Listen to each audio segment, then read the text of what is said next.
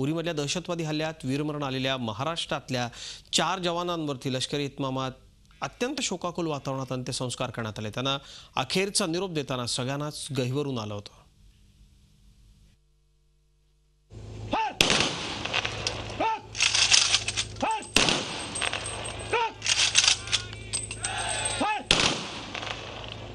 चंद्रकांत गलंडे. विकास कुडमेथे. विकास उईके. आणि संदीप ठोक. उरीतल्या दहशतवादी हल्ल्यात शहीद झालेले महाराष्ट्राचे चार सुपुत्र. देशासाठी बलिदान करणाऱ्या या शूरवीरांना मंगळवारी अखेरचा निरोप देण्यात आला. लष्करी इतमामात.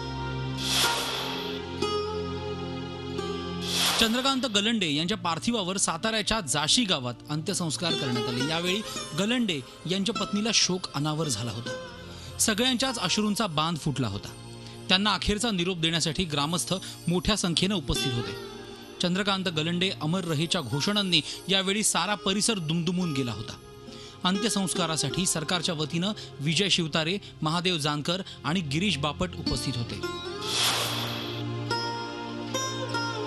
विकास कुडमेथे म्हणजे यवतमाळच्या वणीमधील नेरडपूड गावातल्या तरुणांचे आदर्श.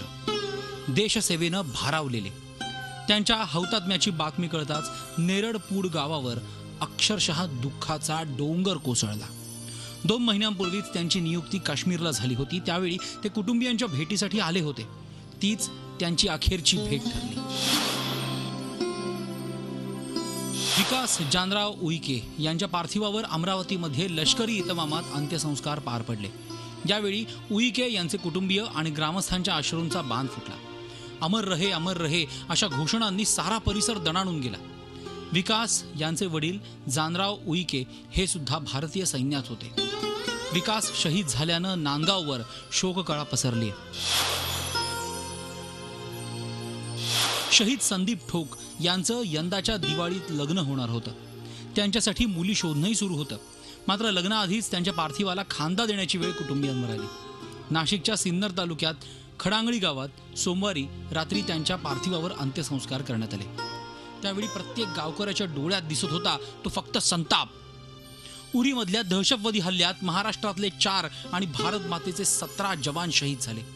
हा दहशतवादी हल्ला नाही तर अघोषित युद्धच आहे. पाकिस्तानची कुरापत काढण्याची हिंमत होणार नाही अशी अद्दल आपण कधी घडवणार? आणखी किती जवानांना अशीच श्रद्धांजली वाहणार? Bureau report Zee media.